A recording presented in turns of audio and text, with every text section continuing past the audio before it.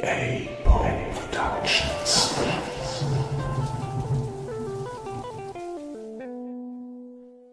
Sir Arthur Conan Doyle Der Hund der Baskerville Drittes Kapitel Das Problem Ich muss gestehen, dass mich bei diesen Worten ein Schauder überlief. Des Doktors Stimme bebte in einer Weise, die ahnen ließ, dass er selbst durch das, was er erzählte, tief bewegt war. Holmes lehnte sich aufgeregt vor, und seine Augen besaßen jenes harte, trockene Glitzern, das gewöhnlich sein höchstes Interesse ausdrückte. Sie haben sie gesehen. So deutlich, wie ich sie jetzt vor mir sehe. Und Sie haben nichts davon erzählt. Zu welchem Zweck? Wie kam es, dass sonst niemand sie bemerkt hat? Die Abdrücke waren etwa zwanzig Meter von der Leiche entfernt, und niemand hat einen Gedanken an sie verschwendet. Ich denke nicht, dass sie mir aufgefallen wären, wenn ich die Erzählung nicht kennen würde. Gibt es viele Schäferhunde im Moor? Zweifelsohne, doch dies war kein Schäferhund. Sie sagen, es war ein großer Hund. Ungeheuerlich groß. Doch hatte er sich nicht dem Leichnam genähert. Nein. Wie war die Nacht? Klamm und rauh. Aber es regnete nicht. Nein. Wie ist die Allee beschaffen? Sie ist von zwei Reihen alter Taxushecken gesäumt, die knapp vier Meter hoch und undurchdringlich sind. Der Weg in der Mitte ist etwa zweieinhalb Meter breit. Befindet sich irgendetwas zwischen den Hecken und dem Weg? Ja, auf jeder Seite des Weges gibt es einen Streifen Rasen von vielleicht nicht ganz zwei Metern Breite. Soweit ich verstanden habe, wird die Taxushecke an einer Stelle von einem Tor unterbrochen? Ja, ein Gattertor führt auf das Moor hinaus. Gibt es irgendeine andere Öffnung? Keine. Um die Taxusallee zu betreten, muss man folglich entweder vom Haus herkommen oder aber durch das Tor vom Moor? Es gibt noch am jenseitigen Ende einen Ausgang durch einen Pavillon. Ist Sir Charles so weit gekommen? Nein, er lag schätzungsweise fünfzig Meter davon entfernt. Nun sagen Sie mir bitte, Dr. Mortimer, und das ist wichtig. Die Spuren, die Sie gesehen haben, waren diese auf dem Pfad und nicht etwa auf dem Rasen? Man hätte auf dem Gras keine Spuren sehen können. Befanden sie sich auf derselben Seite des Weges wie das Tor zum Moor? Ja, sie waren alle auf derselben Seite wie das Tor, am Wegesrand. Außerordentlich interessant. Noch etwas, war das Gattertor geschlossen? Geschlossen und verriegelt. Wie hoch ist es? Etwa ein Meter zwanzig. Dann hätte jeder hinüberklettern können. Allerdings. Was für Spuren sahen Sie bei dem Gattertor? Keine besonderen. Gütiger Himmel, hat das niemand untersucht? Doch, ich selbst. Und nichts gefunden? Es war alles recht zertreten. Offenbar hat Sir Charles dort fünf oder zehn Minuten lang gestanden. Wie kommen Sie zu diesem Schluss? Weil zweimal Asche von seiner Zigarre heruntergefallen ist. Ausgezeichnet. Das ist ein Kollege nach unserem Geschmack, Watson. Doch die Abdrücke? Er hat auf der ganzen mit Kies bestreuten Stelle nur seine Fußabdrücke hinterlassen. Ich konnte keine anderen ausfindig machen. Mit einer ungeduldigen Bewegung schlug Holmes die Hand aufs Knie. Wäre ich nur dort gewesen, rief er. Ganz offensichtlich handelt es sich um einen Fall von außergewöhnlichem Interesse, der einem wissenschaftlichen Fachmann unermeßliche Gelegenheiten bietet. Dieser Kies, aus welchem ich so viel herausgelesen hätte, ist längst vom Regen verwaschen und von Neugierigen zertrampelt. Ach, Dr. Mortimer, Warum haben Sie mich nicht früher gerufen? Sie haben eine ganze Menge zu verantworten. Ich konnte doch nicht nach Ihnen schicken lassen, Mr. Holmes, ohne diese Fakten der Öffentlichkeit zu enthüllen. Und warum ich das nicht wollte, habe ich Ihnen doch bereits erklärt. Davon abgesehen. Warum zögern Sie? Es gibt eine Welt, in welcher der umsichtigste und erfahrenste aller Detektive machtlos ist. Halten Sie die Angelegenheit für übernatürlich. Das wollte ich nicht direkt sagen. Nein, aber offenbar denken Sie so. Seitdem sich die Tragödie ereignet hat, sind mir einige Vorfälle zu Ohren gekommen, die nur schwer mit der natürlichen Ordnung der Dinge in Einklang zu bringen sind. Zum Beispiel? Ich habe herausgefunden, dass vor diesem schrecklichen Ereignis verschiedene Leute ein Wesen auf dem Moor gesehen haben, das diesem Baskerville-Ungeheuer entspricht und keinem anderen der Wissenschaft bekannten Tier gleicht. Alle stimmten überein, dass es sich um eine ungeheuer große Kreatur handelt, leuchtend, gespenstisch und schaurig. Ich habe diese Menschen ins Kreuzverhör genommen. Einer von ihnen war ein starkköpfiger Landbewohner, einer ein Hufschmied und ein anderer ein Moorbauer, die alle dieselbe Geschichte von einer grässlichen Erscheinung erzählten, die aufs genaueste dem Höllenhund der Legende entsprach. Glauben Sie mir, in der Gegend herrscht Angst, und nur ein tollkühner Mann würde sich des Nachts aufs Moor hinauswagen. Und Sie, ein erfahrener Mann der Wissenschaft, Sie glauben an das Übernatürliche. Ich weiß nicht mehr, was ich glauben soll. Holmes reagierte mit Achselzucken. Bislang habe ich meine Untersuchungen auf diese Welt beschränkt, sagte er. Auf bescheidene Weise habe ich das Böse bekämpft, aber gegen den Herrscher der Unterwelt selbst anzutreten, wäre wohl eine zu ehrgeizige Aufgabe. Doch müssen Sie zugeben, dass die Fußspur etwas Weltliches ist. Der ursprüngliche Hund war weltlich genug, eines Mannes Kehle zu zerfleischen, und doch war er gleichfalls diabolischer Natur. Ich sehe schon, Sie sind ins Lager des Übernatürlichen gewechselt. Aber dann erklären Sie mir, Dr. Mortimer, warum Sie mich trotz dieser Haltung aufgesucht haben. Sie suchen mir klarzumachen, dass es sinnlos sei, den Tod von Sir Charles zu untersuchen, und im gleichen Atemzug bitten Sie mich, es zu tun. Darum hatte ich Sie nicht gebeten. Dann möchte ich wissen, womit ich Ihnen eigentlich behilflich sein kann. Indem Sie mir einen Rat geben, was ich mit Sir Henry Baskerville tun sollte, der Dr. Mortimer schaute auf seine Armbanduhr in genau eineinviertel Stunden in Waterloo Station ankommen wird. Er ist der Erbe? So ist es. Bei Sir Charles Tod zogen wir Erkundigungen nach diesem jungen Manne ein und fanden heraus, dass er Farmer in Kanada ist. Nach den Auskünften, die uns gegeben wurden, handelt es sich um einen in jeder Hinsicht tadellosen Menschen. Dies sage ich nicht als Arzt, sondern als Treuhänder von Sir Charles und sein Testamentsvollstrecker. Ich vermute, dass es keinen anderen Anwärter gibt. Niemanden. Der einzige andere Verwandte, den wir ausfindig machen konnten, war Roger Baskerville, der jüngste der drei Brüder, von denen Sir Charles der älteste war. Der zweitälteste Bruder ist jung gestorben und war der Vater dieses Henry. Roger, der dritte, war das schwarze Schaf der Familie. Er kam nach der alten herrischen Baskerville-Linie und war, wie mir berichtet wurde, das Ebenbild eben jenes Hugo. Als ihm in England der Boden zu heiß wurde, setzte er sich nach Mittelamerika ab und starb dort 1876 am Gelbfieber. Henry ist der letzte der Baskerville. In einer Stunde und fünf Minuten treffe ich ihn in Waterloo Station.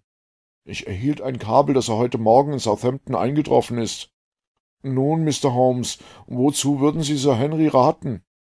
Warum sollte er nicht das Haus seiner Vorfahren in Besitz nehmen? Es scheint vollkommen natürlich, nicht wahr? Und doch bedenken Sie, dass jeder Baskerville, der dort lebt, ein schreckliches Los erleidet. Ich bin mir sicher, hätte Sir Charles Gelegenheiten gehabt, vor seinem Tod mit mir darüber zu reden, er hätte mich gewarnt, den letzten des alten Geschlechts und Erbe eines großen Vermögens zu diesem tödlichen Ort zu bringen. Andererseits kann ich nicht leugnen, dass der Wohlstand dieser armen und freudlosen Gegend von seiner Anwesenheit abhängt. Alle Wohltaten, die Sir Charles vollbracht hat, werden vergebens gewesen sein, wenn Baskerville Hall unbewohnt bleibt. Da ich fürchte, zu sehr von meinem eigenen Interesse in der Angelegenheit beeinflusst zu sein, habe ich Ihnen diesen Fall vorgetragen und erbitte Ihren Rat. Holmes versank eine Weile in Nachdenken. Offen gesagt handelt es sich um Folgendes, sagte er schließlich. Ihrer Meinung nach gibt es eine teuflische Macht, die Dartmoor zu einem unsicheren Ort für einen Baskerville macht. Ist das richtig? Zumindestens gehe ich so weit zu sagen, dass dafür eine gewisse Wahrscheinlichkeit spricht. Genau. Aber sicherlich ist es so, dass eine übernatürliche Macht Sofern diese existiert, dem jungen Mann ebenso sehr in London wie in Devonshire schaden könnte. Ein Teufel mit lokal beschränkten Fähigkeiten, beispielsweise nur im Umkreis einer bestimmten Gemeinde, erscheint mir doch etwas weit hergeholt. Sie nehmen die Angelegenheit weit weniger ernst, Mr. Holmes, als Sie es getan hätten, wenn Sie die Ereignisse selbst erlebt hätten. Ihre Ansicht, so wie ich sie verstehe, ist also, dass der junge Mann in Devonshire ebenso sicher sein wird wie in London. Er kommt in fünf Minuten an. Was empfehlen Sie mir? Ich empfehle Ihnen, ein Taxi zu rufen, Ihren Hund, der an meiner Tür kratzt, mitzunehmen und sich zur Waterloo Station zu begeben, um Sir Henry Baskerville abzuholen. Und dann? Und dann werden Sie ihm so lange nichts über diese Angelegenheit berichten, bis ich mir über alles im Klaren bin. Wie lange werden Sie dazu benötigen? Vierundzwanzig Stunden. Ich wäre Ihnen sehr verbunden, Dr. Mortimer, wenn Sie mich morgen früh um zehn Uhr wieder hier aufsuchten, und es wäre eine große Hilfe für alle Pläne, wenn Sie Sir Henry Baskerville mitbrächten. Das werde ich tun, Mr. Holmes. Er kritzelte die Verabredung auf seine Manschette und eilte auf seine merkwürdig spähende, geistesabwesende Art davon. Holmes stoppte ihn am Treppenabsatz. Eine Frage noch, Dr. Mortimer. Sie bemerkten, dass vor Sir Charles Tod mehrere Menschen diese Erscheinung auf dem Moor gesehen haben? Drei, um genau zu sein. Hat irgendjemand sie danach gesehen? Davon habe ich nichts gehört. Ich danke Ihnen. Guten Tag. Holmes kehrte mit jenem Ausdruck innerer Zufriedenheit zu seinem Platz zurück, an dem man ablesen konnte, dass er die vor ihm liegende Aufgabe seiner würdig erachtete. Gehst du aus, Watson? Sofern ich dir nicht behilflich sein kann. Nein, mein lieber Freund, erst wenn die Stunde zu handeln gekommen ist, werde ich um deine Hilfe ersuchen. Aber dies ist ein prachtvoller Fall, unter bestimmten Aspekten wirklich einzigartig. Und wenn du bei Bradleys vorbeikommst, bitte sie doch, mir ein Pfund ihres stärksten Pfeifentabakes zu schicken. Ich danke dir. Könntest du es außerdem einrichten, nicht vor Abend zurückzukehren? Ich freue mich darauf, mich anschließend mit dir über die Eindrücke auszutauschen, die dieses höchst interessante Problem heute Morgen bei uns hinterlassen hat. Ich wusste, dass Abgeschiedenheit und Einsamkeit für meinen Freund in diesen Stunden intensiver geistiger Konzentration wichtig waren, während derer er jedes winzige Stückchen an Indizien gewichtete, verschiedene Theorien konstruierte, eine gegen die andere abwog und sich darüber klar wurde, welche Gesichtspunkte essentiell und welche nebensächlich waren. Daher verbrachte ich den Tag im Club und kehrte erst gegen Abend in die Baker Street zurück. Es war fast neun Uhr, als ich mich wieder im Wohnzimmer einfand. Mein erster Gedanke, als ich die Türe öffnete, war, es sei ein Feuer ausgebrochen, denn das Zimmer war so voll Rauch, dass die Lampe auf dem Tisch nur schemenhaft zu erkennen war. Nachdem ich jedoch eingetreten war, verloren sich meine Befürchtungen, denn es waren die säuerlichen Schwaden von starkem Grobschnitttabak, die mir in den Hals drangen und Hustenreiz hervorriefen. Durch den Nebel sah ich die verschwommene Gestalt von Holmes, der in seinem Morgenmantel gekleidet im Armsessel kauerte, seine schwarze Pfeife zwischen den Lippen. Mehrere Rollen Papier lagen um ihn verstreut. Hast du dich erkältet, Watson? fragte er. Nein, das kommt von der giftigen Atmosphäre hier drin. Die Luft scheint mir in der Tat zum Schneiden, jetzt wo du es erwähnst. Sie ist nahezu unerträglich. Nun, du kannst dein Fenster öffnen. Anscheinend warst du den ganzen Tag im Club. Lieber Holmes. Habe ich recht. Sicher, doch woher? Er lachte über mein erstauntes Gesicht. Du besitzt eine erfreuliche Unbekümmertheit, Watson, so dass ich großen Spaß dabei empfinde, meine kleinen Fähigkeiten auf deine Kosten auszuprobieren. Ein Gentleman verlässt an einem regnerischen und schmierigen Tag seine Wohnung. Er kehrt abends makellos nach Hause zurück mit glänzendem Hut und Schuhen. Daher hat er den ganzen Tag wohlbehütet verbracht. Nun hat er keine engen Freunde. Wo könnte er also gewesen sein? Ist das nicht offensichtlich? Nun ja, das ist wohl eher offensichtlich. Die Welt ist voll von offensichtlichen Tatsachen, die niemand jemals bemerkt. Wo bin ich deiner Meinung nach gewesen? Ebenfalls den ganzen Tag daheim. Im Gegenteil, ich war in Devonshire. In Gedanken? Genau. Mein Körper blieb in diesem Armsessel und hat, wie ich bedauernd feststellen muss, in meiner Abwesenheit zwei große Kannen Kaffee und eine unglaubliche Menge Tabak konsumiert. Nachdem du fortgegangen warst, habe ich von Stamfords eine Karte jenes Teils des Moores kommen lassen, und mein Geist hat den ganzen Tag über ihm geschwebt. Ich darf mir wohl schmeicheln, mich nunmehr dort auszukennen. Eine Karte großen Maßstabs, vermute ich. Sehr groß. Er breitete einen Teil auf seinem Knie aus. Hier siehst du den speziellen Teil, der uns betrifft.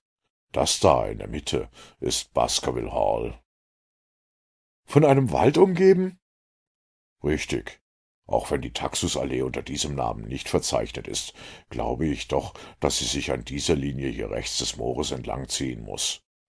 Diese kleine Ansammlung von Gebäuden ist das Örtchen Grimpen, wo unser Freund Dr. Mortimer sein Hauptquartier hat. Innerhalb eines Radius von acht Kilometern befinden sich lediglich ein paar wenige verstreute Häuser, wie du sehen kannst. Dies ist Lafter Hall, das in der Erzählung erwähnt wurde. Dort ist ein Gebäude verzeichnet, welches das Haus des Naturforschers sein könnte. Er hieß Stapleton, wenn ich nicht irre. Da gab es zwei Moorfarmen, Hightor und Faulmeier. Außerdem in einer Entfernung von rund zwanzig Kilometern das große Zuchthaus Princeton. Zwischen diesen verstreuten Punkten und um sie herum erstreckt sich das Trost und leblose Moor. Dies ist also die Bühne, auf welcher sich die Tragödie abgespielt hat und sich vielleicht mit unserer Hilfe ein weiteres Mal abspielen wird. Es scheint eine öde Gegend zu sein. Oh ja, unserem Fall angemessen, wenn es dem Teufel gelüstet, seine Nase in die Angelegenheiten der Menschen zu stecken. Du neigst also auch zu dieser übernatürlichen Erklärung? Des Teufels Handlanger können aus Fleisch und Blut sein, nicht wahr? Es stellen sich uns zunächst zwei Fragen. Die erste, ob überhaupt ein Verbrechen verübt worden ist. Die zweite, um welches Verbrechen handelt es sich und wie wurde es begangen. Wenn allerdings Dr. Mortimers Vermutung richtig ist und wir es mit Kräften zu tun haben, die jenseits der natürlichen Ordnung existieren, ist unsere Untersuchung damit beendet. Doch bevor wir diese Erklärung akzeptieren können, sind wir gehalten, alle anderen Hypothesen erschöpfend zu erforschen. Wenn du nichts dagegen hast, sollten wir jetzt dieses Fenster wieder schließen. Es mag seltsam erscheinen, aber ich finde, eine konzentrierte Atmosphäre unterstützt konzentriertes Denken.